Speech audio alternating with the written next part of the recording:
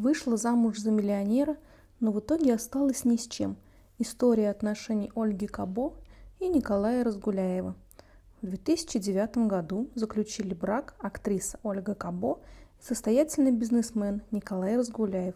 41-летняя Ольга Игоревна, которая имела за плечами опыт брака отношений с женатыми мужчинами, Караченцев, Иншаков, казалось, вытянула счастливый билет.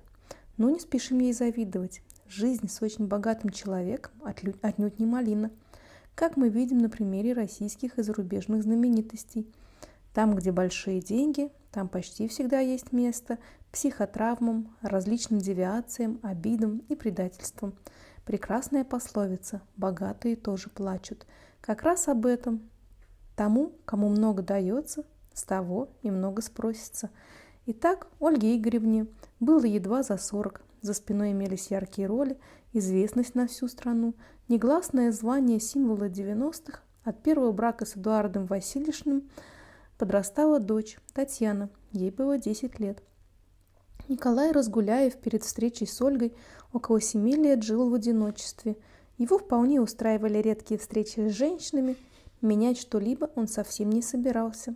Но однажды, встретив Ольгу, постоянно возвращался мыслями к ней – тот яркий взгляд, добрые глаза, мимолетная улыбка и понял, что хочет пообщаться с этой женщиной. Николай человек довольно конкретный, поэтому принял решение и начал действовать. Для начала он разузнал информацию о Кабо. Она одинока, девять лет назад разошлась с мужем, одна воспитывала дочь. Казалось, всего лишь надо найти общих знакомых и организовать случайное знакомство. Так и вышло. А дальше романтика и красивые ухаживания, перед которыми не устояла бы, наверное, ни одна женщина. Очень быстро Ольга вместе с дочерью Татьяной переехали к Разгуляеву. Начало их отношений напоминало романтический фильм. Тем более удивительно, насколько скандальным и жестоким было их расставание спустя 10 лет.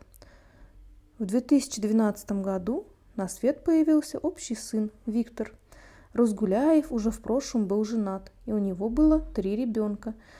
Но они жили с его супругой, он очень серьезно относился к воспитанию детей и не жалел для них финансов.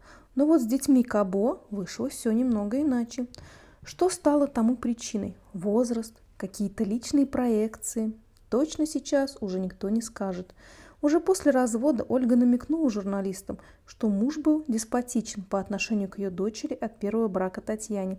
Очевидно, что попадись им в начале семейной жизни опытный семейный психолог, все могло бы пойти иначе.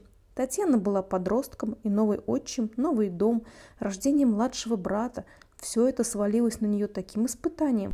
Разгуляев был очень требователен к молодой девушке. Стратегия отношений, новый муж, ребенок – это отношение друзей, где он старший друг, но не надзиратель. Никакого авторитаризма быть не должно, но в случае Разгуляева он имел место быть. Ольге больше не нужно было быть сильной независимой. Она с удовольствием отдала пальму первенства своему супругу. Только на том основании, что он мужчина. И такие отношения их устраивали целиком и полностью. Но там была еще Татьяна – о которой мама совершенно не думала. По крайней мере, со стороны так казалось. Отдельно стоит написать о Викторе. Мальчик стал поздним ребенком для своей матери. Она родила его в 44 года, но он не по годам развит. Уже в возрасте четырех с половиной лет Виктор давал интервью журналистам, мог свободно изъясняться на русском и английском. Позже он стал учеником элитной закрытой школы. Чуть более десяти лет счастливого, как казалось, со стороны Союза пошли прахом. Муж оставил некогда любимую супругу без всего.